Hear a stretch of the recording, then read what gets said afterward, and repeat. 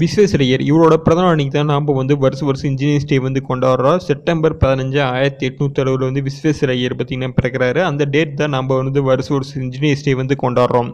September பதினஞ்சு ஆயிரத்தி எட்நூற்றி அறுபதில் மைசூர் உள்ள சிறு கிராமத்தில் வந்து அவர் வந்து பிறக்கிறாரு. அவரோட பதினஞ்சு வயதிலே அவங்க அப்பா வந்து இழந்துடுறாரு அதுக்கப்புறம் பார்த்தீங்கன்னா பள்ளி படிப்பு பார்த்தீங்கன்னா பெங்களூரில் ஒரு ஸ்கூலில் வந்து முடிக்கிறாரு. அதுக்கப்புறம் பிஜி பார்த்தீங்கன்னா ஆயிரத்தி எட்நூற்றி எண்பத்தொன்னில் சென்னை பல்கலைக்கழகத்தில் வந்து முடிக்கிறாரு.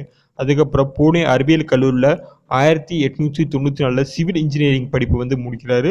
அதுக்கப்புறம் பாம்பே பொதுப்பணித்துறையில் அவருக்கு வந்து வேலை கிடைக்குது. அதுக்கப்புறம் கொஞ்ச நாள் கழிச்சு இந்திய பாசன ஆணைக்குள்ளார அவர் வந்து அழைக்கப்படுறாரு.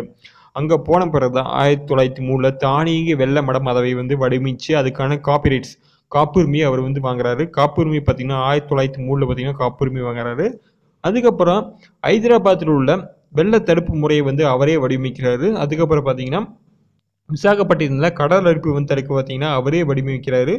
அதுக்கப்புறம் காவேரி குறுக்கே பார்த்தீங்கன்னா கிருஷ்ணன் சாகர அணையை வந்து இவரே கட்டுறாரு. அந்த டைமில் பார்த்தீங்கன்னா ஆசியாவிலே மிகப்பெரிய அணையாக தான் இருந்தது ஆயிரத்தி எட்நூற்றி தொண்ணூற்றி நாலில் பார்த்தீங்கன்னா ஆசியாவிலே மிகப்பெரிய அணையாக பார்த்தீங்கன்னா கிருஷ்ண சாகர் அணை வந்து இருந்தது. அதாவது கேஆர்ஸ் அணைன்னு சொல்லுவாங்க.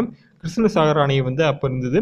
அதுக்கப்புறம் பார்த்தீங்கன்னா அவர் பார்த்தீங்கன்னா பெங்களூரில் சில காலேஜ் இன்ஜினியரிங் காலேஜ் வந்து கொண்டாடுறதுக்கு வந்து ரொம்ப உதவியாக இருந்தது. அது மட்டும் இல்லாமல் கர்நாடக அளவு சில இண்டஸ்ட்ரி வந்து கொண்டாடுறதுக்கு ரொம்ப உதவியாக இருந்தார்.